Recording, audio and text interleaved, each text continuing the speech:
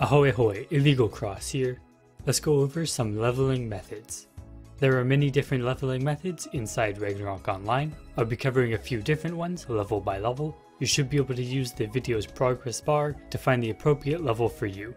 There is a cautious village quest guide and my own advanced leveling guide near the end of the video as well. Level 1 to 11. For the early levels, there isn't as many options. It's best to do the intro tutorial for the easy XP. It also gives you some free starting gear and potions as well.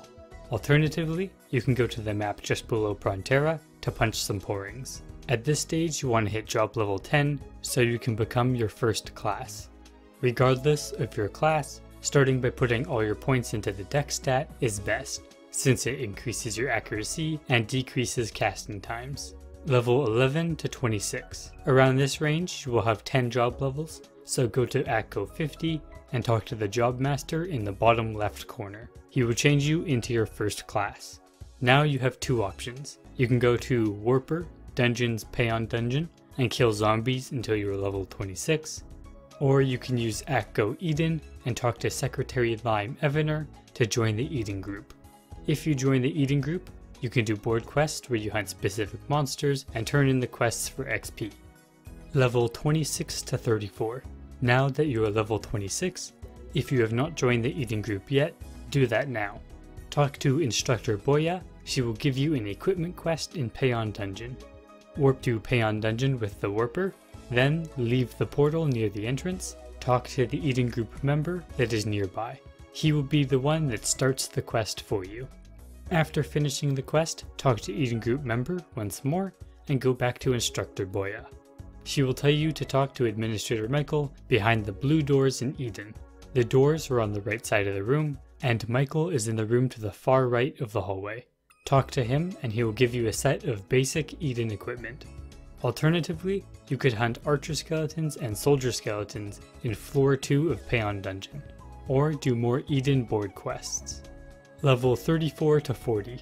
In this range, you will want to start or continue hunting archer skeletons and soldier skeletons in floor 2 of Payon Dungeon, until you hit level 40 to start the next Boya quest.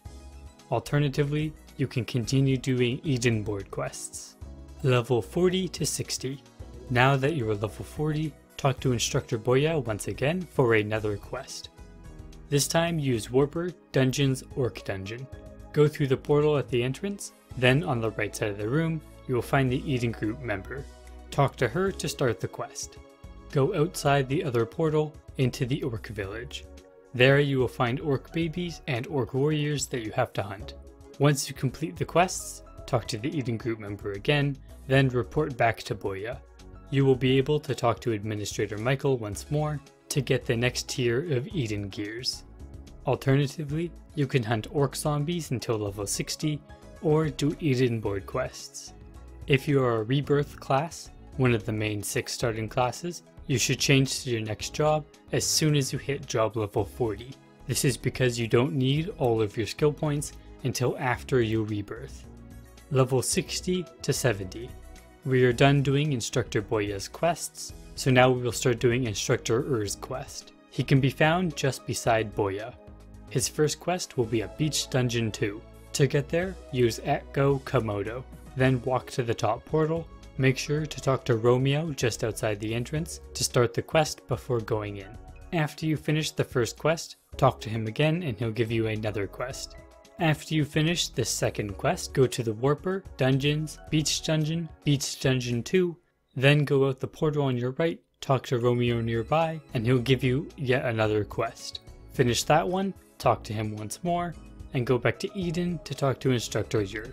You can now speak with Blacksmith Thorn behind the blue door. He's in the same room as Administrator Michael, and he'll give you a stronger Eden weapon. Alternatively, you can do Eden board quests. Level 70 to 85. This is where the Eden board quests and the Eden equipment quests will merge together. Talk to Instructor Ur to get the last equipment quest, then go to 7185 board quests and take the Evil Druid and Wraith quests. Now use the Warper and go to Glastheim St. Abbey, Warper, Dungeons, Glastheim, St. Abbey. talk to the Eden group member just outside the entrance, then go inside to kill Wraiths and evil druids. Once you complete all of her quests, talk to her again, and then return to Eden. Turn in the board quest, then talk to Instructor Ur one last time. Now you can go to Blacksmith Thorn to enchant your weapon. Note that Blacksmith Thorn will ask for a few items that you will need to collect in order to enchant your weapon. Now keep hunting wraiths and evil druids until you hit level 85. Level 85 to 99. You are now the minimum level to start doing Gramps quests. Gramps quests are large hunting quests that you usually do in a party. You can talk to the signboard in the top left of Eden to take the quests for your level range. Talk to Gramps to warp to the special maps. You can use slash chat to make a chat room and let people know you are looking for a party. I highly recommend not turning in your Gramps quest when you are finished. Finish them, but do not turn them in. Continue leveling in the Gramps area, do Eden board quests, or Echo Rock and kill Shotgun Buffalo Bandits on the map to the right. Once you are level 99, job level 50, you can rebirth. Note you still have not turned in your Gramps quests. Rebirth Part 1. If you are a expanded class, being a ninja, Doram, rebel, or a Taekwon class, ignore this step and continue to Rebirth Part 2. Go back to the job changer in the main office and rebirth. You will be changed to a level 1 High Novice. Now go below Prontera, punch some porings to get back to job level 10. Return to the job changer and become your first class again. If you are unsure on what exactly rebirthing does, it gives you extra stat points, 25% more HP and SP, as well as some extra skills when you become your transcended second class. Now we will do the Cautious Village quest. You can find that section in the video timeline near the end of the video. Complete that quest, then return back to Rebirth Part 2. Rebirth Part 2. Now you should have job level 50. If not, go kill orc zombies or evil druids until you are job level 50. Now talk to the job changer and become your second class. And finally, you can go back to Eden and turn in your Gramps quest. You do this by talking to the signboard and selecting the quest again. This should bring you to level 99, job level 69. Go inside the Gramps map and kill a few monsters to reach job 70, then change to your third class. Level 99 to 114. Now that you have turned in the Gramps quest, you will have to wait 4 hours before you can do them again.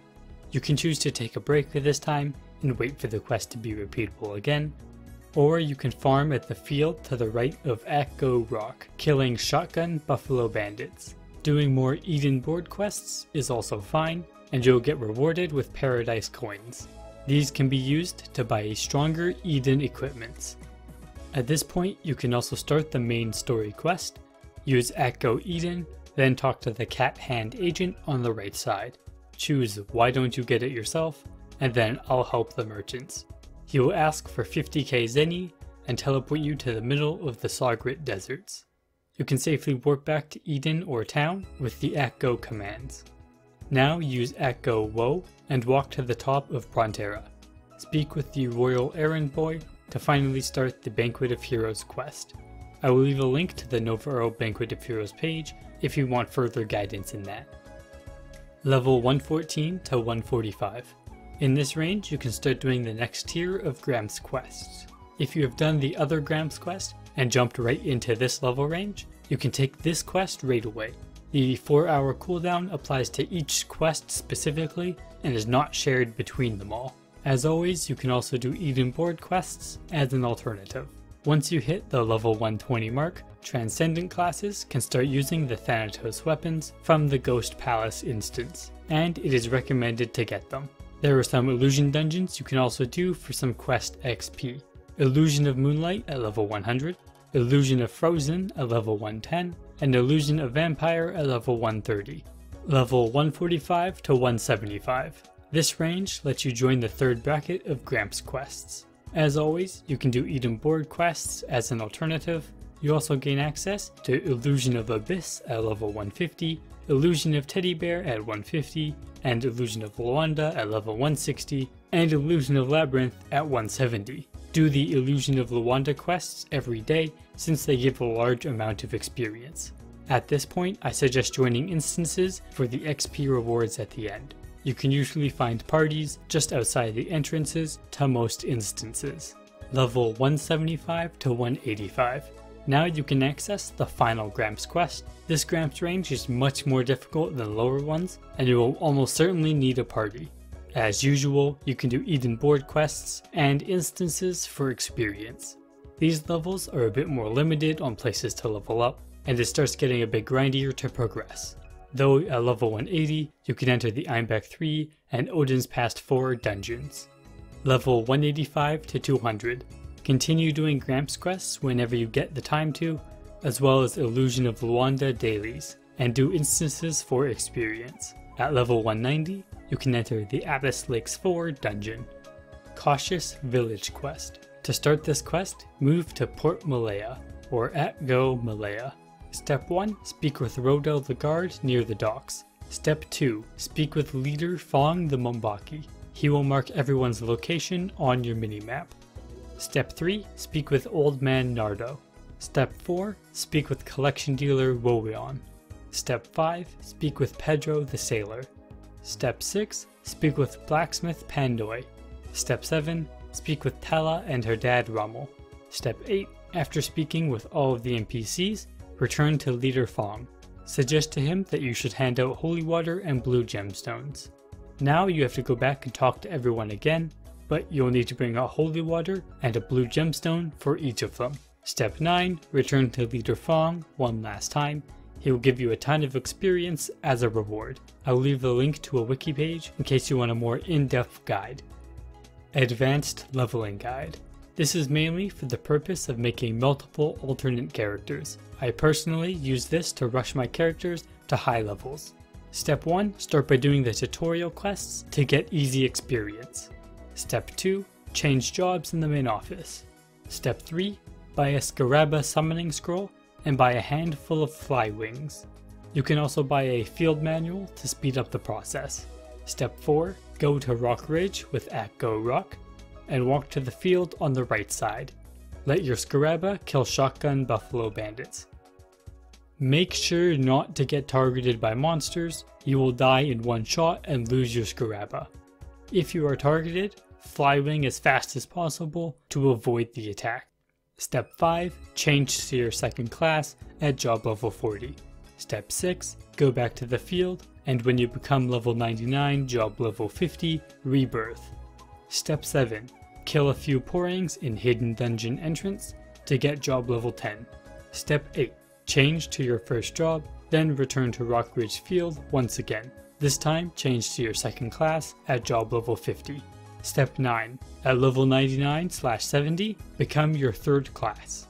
Step 10. Continue killing bandits until around level 110. From this point on, you will need some gears to be able to level efficiently. Step 11. Move to Atgo Verus. Enter the top portal and kill robots until around level 130. Step 12. Go to Eden, Atgo Eden, and take the Petal and Men Black quests. To find them, go to Warper, Dungeons, Bifrost Tower, exit the portal. Take item gathering quests for fast experience as well.